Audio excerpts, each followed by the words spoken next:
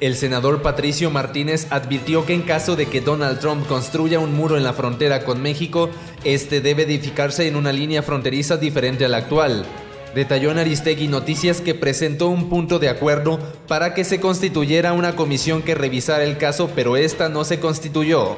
Sostuvo que la actual frontera de México-Estados Unidos está mal, pues hay una distancia de 430 kilómetros lineales de la frontera terrestre que no está en el lugar donde debiera estar, está un poco al sur. Si pretende levantar un muro tendrá que levantarlo en otra línea, no en la actual que está equivocada, aseveró. Este error no es nuevo, sino que data de tiempos de Porfirio Díaz.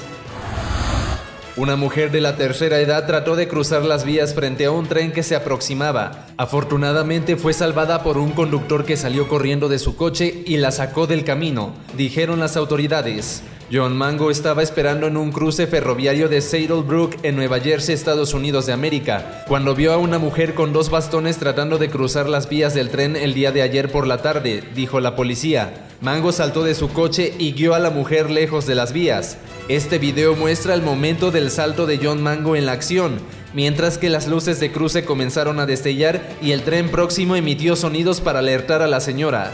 Mango dijo que la mujer parecía asustada y debido a eso quedó paralizada en las vías del tren, por lo que intentó tomarla del brazo y luego trató de tirar de ella. Cuando llegaron al otro lado de las vías, se percataron de que habían esquivado al tren por centímetros.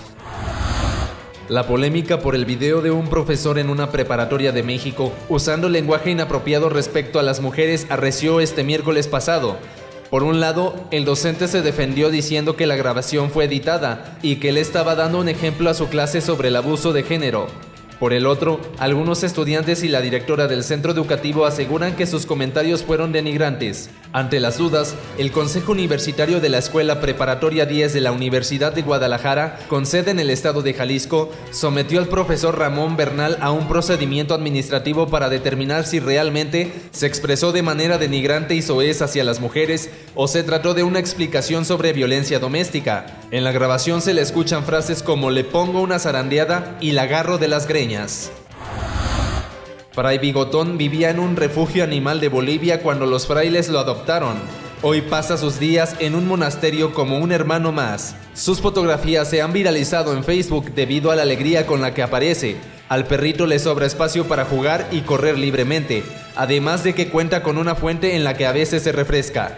Por su parte, los franciscanos están alegres con la presencia del can, pues dicen que San Francisco de Asís es el patrono de los animales, veterinarios y ecologistas, a los que considera como sus hermanos menores. Si todas las iglesias de nuestro país adoptaran tan solo un perrito y lo cuidaran como a Fray Bigotón, estamos seguros que los feligreses seguirían su ejemplo, escribieron en una publicación de Facebook en la página de Proyecto Narices Frías que hasta ahora cuenta con más de 14.000 reacciones, además de haber sido compartido en 35.000 ocasiones.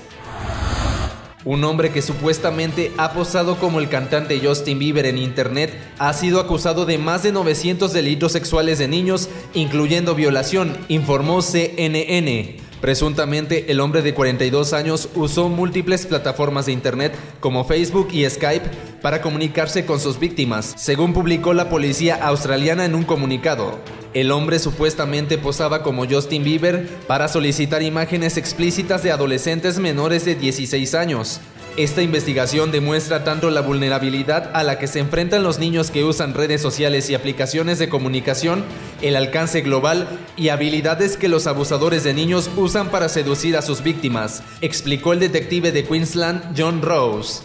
Internacional para Informativo 9, Juan Pablo Asensio.